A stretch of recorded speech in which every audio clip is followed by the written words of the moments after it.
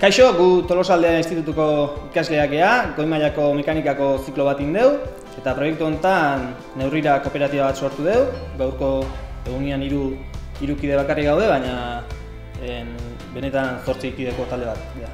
Ideia atea zen, ingeleseko irakaslia Josune, mo, kontatu zigun kasu bat, bere kuadriako baten semiak artogriposis kongenita daka, dakala, eta kostatzen zaiola etxian, pues, hola egunero itian gauzak.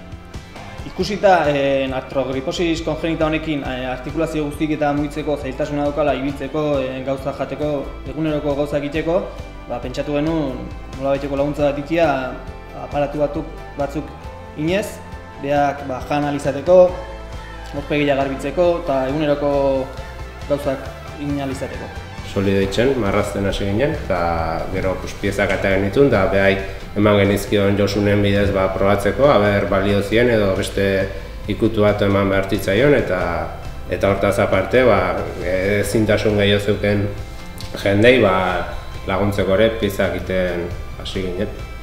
Bueno, ba, guire bai postasun handi eman digu, ba, gu iten lana, ba, ikuste genuen probetxuzko zerbait egiten nahi ginela eta eginela ba, ume horri launtzen eta beste zintasuna zuten jende guztia ere ba, esku bat botatzen gizarte honetan.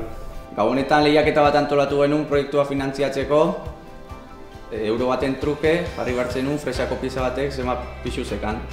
Hola, e, eskuakin pixatzen eta irabaztezun antza, ba, saski baseon, produktuz betia. Otsailean Eibarreko azokan egon ginen gure proiektua erakusten eta atxunamun batzuk bai galdetu ziguten, aber, heldu entzate bai ite genuen moldagaiuk eta eta bai izan genion, zenbakik eta hartu zizkiguten, beste gume batek bai eta oso egun politia pasa genuen. Ikas enpresan haitzeko esperientzia oso ona izan da, e, gure artian banatu ditugu lanak eta proiektu bat aurrera teatzen saiatu geha.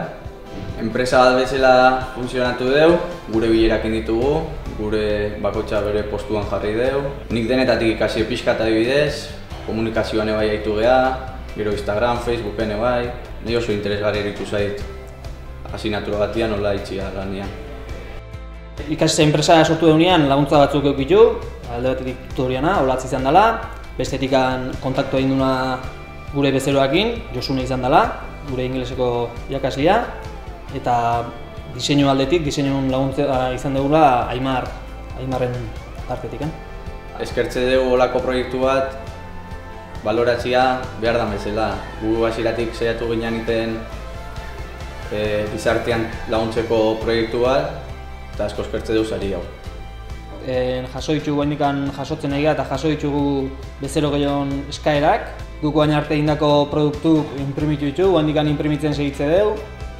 Eta hemendik aurrea, osatuko letzea duke, ba, guk hasitako proiektu solidario hau, pixkat ikastetxeak bultza bat ematea, eta urrengo urteetan ba, ikas, ikasleen laguntzaz eta irakasleen laguntzaz ba, jarraipena ematea.